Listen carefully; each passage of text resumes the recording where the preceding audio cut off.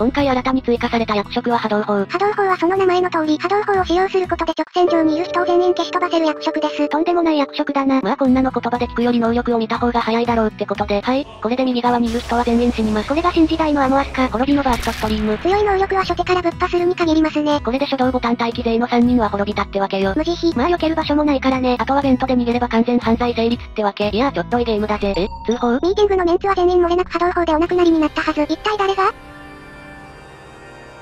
みぞれもんなのだ。みぞれさん、みぞれさん、みぞれさん、みさん、ジャロラで。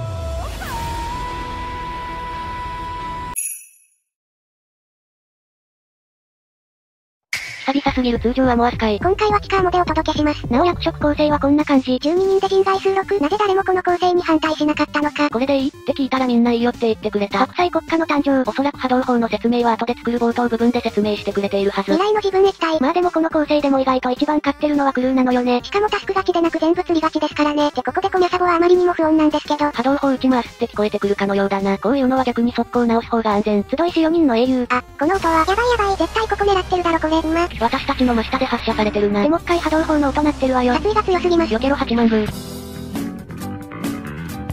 これ私たち以外コミャサボ直しに来た人全員死んだろ。レイラーさんとラテさんも一発目の車線上にいましたしね。そして絶妙すぎるタイミングでのボタン。コミャサボ直った直後なら救われる命もあったのに。これ死体全部コミャサボ前にあるぞ。一発目がコミャサボ前通路通過してレイラーさんとラテさんが被弾。二発目がコミャ内通過して8万さんが被弾してったからな。さ、何やってんだ？とりあえずウパミゾガンマスメテオはミーティングいたよ。ここ4人は白です。私もメメさん視点白じゃない？キッチンに置いてかれていってるけど。白だと思うけどエンジン側とか移動されてたらわかんないな。ま、でも白だとは思う。じゃ残りひなにレイマリエモン。何かも押し開きはあるか？自分は売ってないとしか言えないですけどね。いやでもねメグサのラインもありますけどね。じゃあもう出るけどセリフですって。メメさんは自分視点ほぼほぼないものだと思います。ああ、そこがセリフならいいですね。じゃあひなにレイマリエモンの3人のうち2人が人外ってことですか？もう全員釣っていいだろ。まあ自分ドラされても2人外落とせるなら別にいいけど。じゃあ S レイマリ釣ります。何か遺言ある？まあ、気持ちよかったです。聞いたらしっかり自白してくれると。とりあえず仇を一人地獄に送るわ。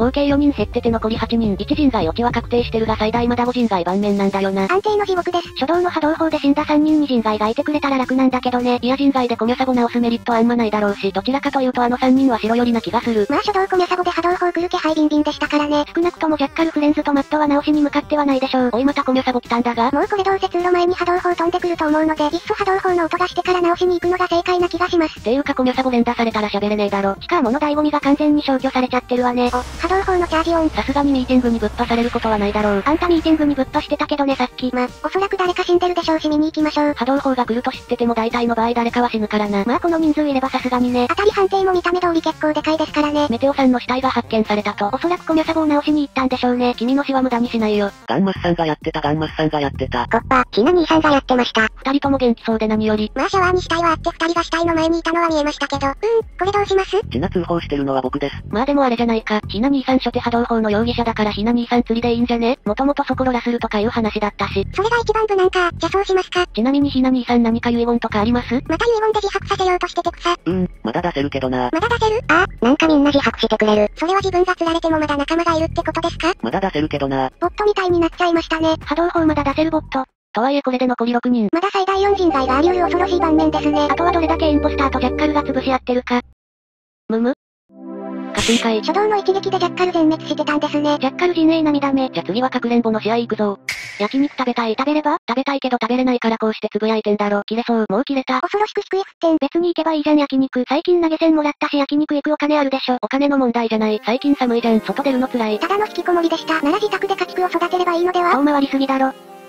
その手があったかみたいな顔するな。焼肉に行けないストレスは他の人にぶつけるに限る。クルーも焼けば実質焼肉。実質という言葉の適用範囲が広すぎる。今回9人で200秒かつ弁当3回使用可能という鬼設定。さすがに私たちといえど運が大きく絡んできますね。こういう甘えもっとください。全員に弁当3回使われてちゃ勝てるはずがないこの設定。肝心なのはどれだけザコシを量産するかという一点。ザコシに定評があるメンツをかき集めてるから大丈夫。ザコシに定評があるメンツかっこ村民見逃して序盤の命乞いは許しません。とりあえずは3人弁当使用なしで処理できたわね。とはいえ大事なのはここから死ぬべく死して死ぬメンツばかり死んでるからな。死ぬべくして死ぬメンツ。失礼の極み。む、マジかこれキル反応しないのか。しかしここの弁当は七。みぞれさんも同じとこの弁当入っていってて草。ここでしっかり弁当消費させるよう動きますよ。二人同時にベント消費させれるからこれは大きい。ここの2点ベント両方監視できるから弱めなのよね。あ、今上開いた。また入ったな。ベント消費させるのが目的なのでこれはグッドです。おっと逃がしませんよ。前さんもここにいたようだな。残念だけど逃がしはしないぞ。あう、変な声上げないでください。乙女の部分出ちゃってる。しかし半分以上削れて残り時間2分と高ペース。ここからでも容易に負けれるのがこの設定。実際前このくらいのペースからベント使い回されて負けましたからね。ベント3回というのがそもそも運要素大きすぎるのよ。あと1人キルしたらアドミン見れるようになるので、右側巡回しに行きたい気持ちを抑えて偏った探索をします。後半ベント3回残した人とかいるとマジで辛いんよな。こっち側にはさっきベント消費してたメテオさんが案の定いた。これでアドミン能力解放です。アッパーにいるのどうせハイドポジだろこれ。むマジかここいないの？普通に通路走って移動していたみたいですね。まあならそのまま石油側追い回しに行くか。それでお邪魔します。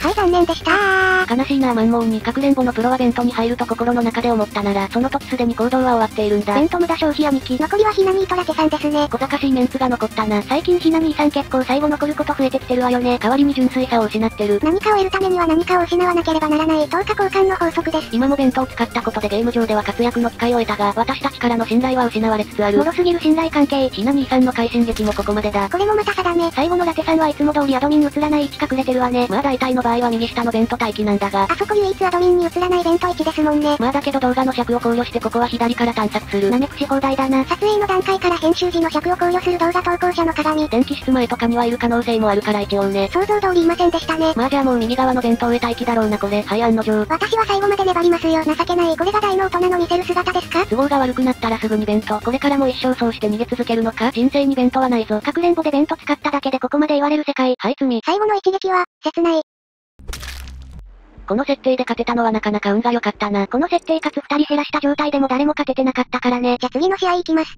次は隠れる側、マップはエアシップ。弁当1回が恐ろしく強いのでしっかり活かしていきたいところ。特に昇降機右あたりの弁当がめっちゃ強いからね。鬼がはしご降りてくるまで待っておけば基本事故らないしな。ということで初手メイン脇。開幕脇1が被る事故は起こしたくないので早々に移動します。メテオさんどこ湧くんですか？メイン枠よ。開幕早々心理戦が行われてますね。なおここで心音ゲージが上がらないあたりメインでは湧いてなさそう。嘘つき、嘘つき相手だと何の情け容赦なくタスクができるぜ。いつも情け容赦なしていき。情け容赦を親のお腹の中に置いてきたことに定評がある。情けは人のためにならずという名言があるからな。私はこの言葉に従ってるだけ。くだらない言い訳をしている間に第一犠牲者が発生してしまったようね。いや今弁当入ったろ。このセリフ毎回聞いてます。ラグとかもあるから早めに入っとかないと判定残るんだよな。一旦カメラで鬼の位置を特定して移動方向を決めるぞ。あーなんでそこなの？ひな兄さんどこでやられたのかな？と。む、メテオさんは今アーカイブにいますね。今右行くとワンチャンで詳しそうなオーラあるな。左側にタスク固まってるしおとなしく左側に行きましょう。配線が時間内に終わるかはかなり怪しいところですが一応やります。最短の出方したら一応終わるからな。こればかりは運次第ね。ひな兄さんこれ多分シャワーで死んでそうですね。じゃあ、1分かってるのになんで即死してんの？何のための位置特定だったんだ？位置把握かっこ回避できるとは言ってない。このマップタスクやるの結構難易度高めだから、序盤で3人死んでるのは割と痛手ではあるけどな。まあでもレイマリさんならいっか。人によって命の重さが違う世界。これ配線はやりに行けなさそうだな。2個目がシャワー室に発生しちゃってますからね。やりに行くとなるとメインを通過しなきゃならないし、鬼に出くわす可能性大。ここはミーティングのタスクをやってから待機だな。結局弁当へで待機するんですね。見損ないました。人生に弁当はないぞ。私の名言を引用するな。それに誰が弁当へで待機すると言った？じゃあどこで待機すんのよ？はしご上だ。なんで弁当へじゃなくはしごへエアシップの鬼ごっこでははしごチェイスが禁止されているが、一度すれ違うだけなら許されている。つまり、鬼が上がってくるタイミングにちょうど降りることで回避できるというわけだ。弁当へ待機でよくない？弁当へ待機にはロマンがない。ここですれ違いを決めて逃げ切る方が芸術点高いだろ。新しい評価基準持ち出してきましたね。新時代のナメプ。ていうか全然みんな見つからないんだけど。コックピットでアドミンでも見たらどうですか？ああ、まあそれはあり。逃げる側からアイディアをもらう鬼。全然来ないし配線タスクワンチャンやりに行こうかな。いやでも残り1分切ってるし向かっても無駄になる可能性高いか。決断力抜。エアシップはタスクであんま時間減らないから、ここからが長いけどね。まあここからはペットでも可愛がりながら待機だな。かくれんぼ高齢静止が、あれ？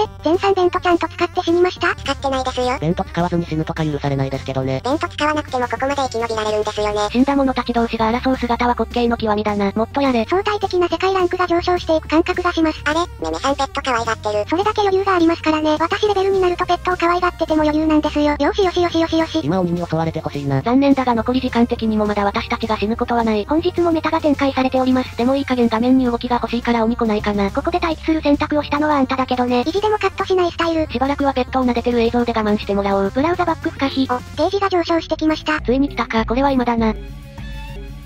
はいプロ。完全にタイミングを読み切りましたね。そして昇降機の弁当上で待機しているレイラーチャンネル。恥を知りなさい。弁当へ待機は美しくない。はしごへ待機も似たようなもんだけどね。もう弁当はないので後の時間は自力で逃げなければ。どうせ次メインからシャワーとか右側に探索しに行く気がするから、あえて左から回ってミーティングに戻る動きで行くぞ。アドミン側に来てたらかなり裏目になっちゃうけどね。勝つだけならもう展望とかで待機してれば時間稼げますけど。めめ村かくれんぼはキルされたら全体勝利でも負けだからな。というかこれめちゃんこ近くまでメテオさん来てますよ。いやこれみんなどこいるんだ。なんか大丈夫そう。日頃の行いと運の因果関係のなさを証明したわね。マリサさん最近アリによだれ垂らして遊んでましたからね。あれは純粋な好奇心ゆえの行動。アリも私のよだれをかけられて幸せだろ。死後地獄行き確定。あ、あれ？あー、弁当へ待機勢が地獄へと送られていきましたね。弁当のショートカット V で設定してるのに反応しないんだけど。それ前も言ってましたけどインポスターの時のみですよ。終わった。他の人の失敗から学びたまえよ。勝利者が一人減って私たち的には助かりましたけどね。クルー側の弁当のショートカットも設定できるようにしてほしいわね。ということで本日はこれで終わり。高評価とコメント、チャンネル登録と Twitter のフォローよろしくね。それじゃまた次回の動画で、さらばだ。